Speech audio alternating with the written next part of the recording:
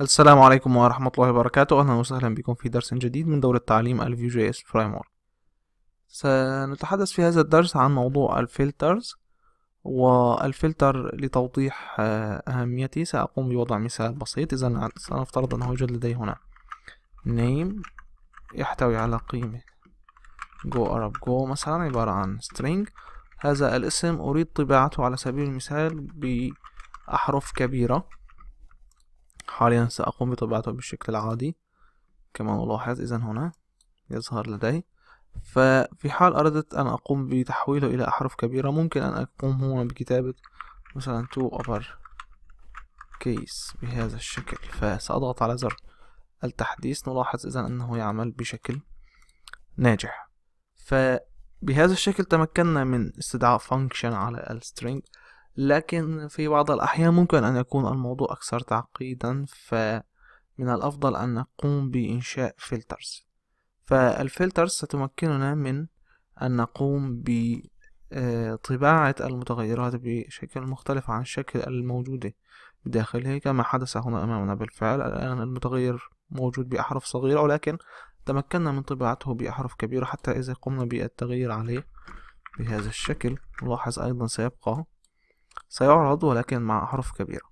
فطبعا هذه ليست الطريقة المناسبة للتعامل في ال Vue JS الطريقة المناسبة هي استخدام ال filters وفي بعض الأحيان يكون الموضوع أكثر تعقيدا من الشكل الموجود لدي حاليا فيكون من غير المناسب أبدا أن أقوم بالكتابة بهذا الشكل. فلإنشاء فلتر سأقوم هنا بكتابة filters بهذا الشكل و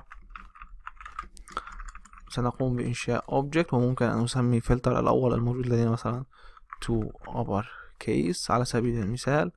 وهنا سأقوم بإنشاء function. آه سنحصل على ال value القديمة. وضمن ال value سنقوم بالتعديل عليها. فهنا سأقوم بكتابة return. آه value dot to upper case بهذا الشكل الآن. هنا طريقة الاستخدام تصبح بهذا الشكل. إذا نفرض يوجد لدينا إذا هنا name سأقوم بكتابة هنا. عفوا.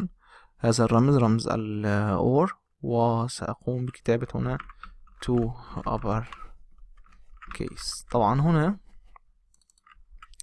الاسم طبعا اختياري ممكن أن أقوم باختيار بأي اسم. ليس من الشرط طبعا أن يكون نفس اسم الفانكشن.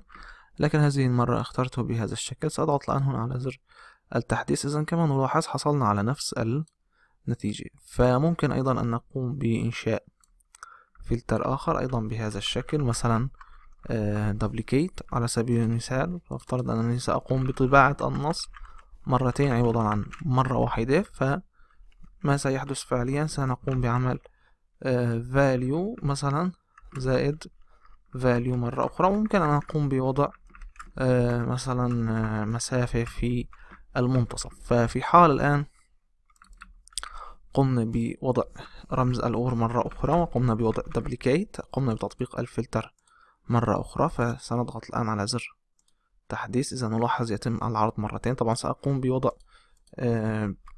br هنا لتوضيح الشكل أكثر. كما نلاحظ لدينا في المرة الأولى نستخدم br الآن سأضغط هنا. إذا بهذا الشكل. نلاحظ هنا إذا تم تكرار ال output مرتين. إذا بهذا الشكل نكون تعلمنا أيضا كيف نقوم بتطبيق أكثر من فلتر في نفس الوقت.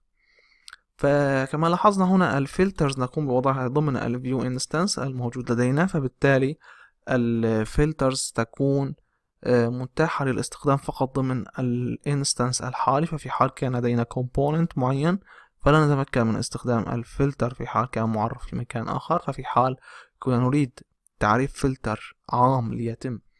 استخدامه مع جميع ال components الموجودة في التطبيق الخاص بنا.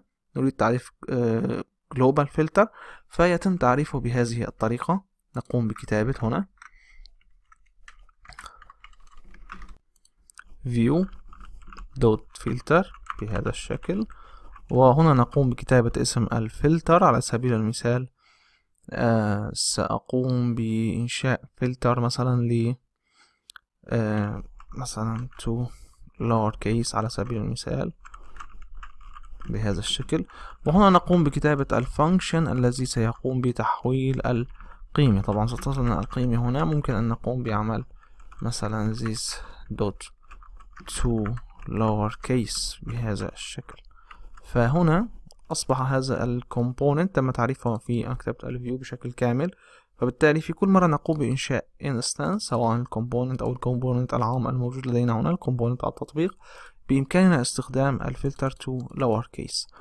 فعلى سبيل المثال في حال قمنا هنا مثلا بإنشاء متغير مختلف مثلا سايت على سبيل المثال أو مثلا يبدأ بحرف كبير مثلا سأقوم بكتابة اسمي هذه المرة على سبيل المثال في حال آه، أردت كتابة ال أو أو سأقوم بكتابة إيميل مثلا أنت. إذا بهذا الشكل لدينا إذا إيميل. الآن في حال أردت أن أقوم بطباعة الإيميل ب lower case فبالتالي لدينا الآن حرف كبير يجب أن يتحول إلى أحرف صغيرة حتى لو كان لدينا أكثر من واحد مثلا بهذا الشكل. ففي هذه الحالة ممكن أن أقوم بطباعتها بهذا الشكل. سأقوم بطباعة إذن الإيميل وهذه المرة سنستخدم ال global filter to lower case. فالآن سأنتقل للمتصفح وأضغط على زر التحديث. إذا يوجد لدي error كما نلاحظ this dot to lower case. uh, عفوا هنا كان علي كتابة value بهذا الشكل. الآن سأضغط على زر التحديث. آه لدينا هنا إذا الإيميل. طبعا أيضا نسيت أن أكتب return عفوا.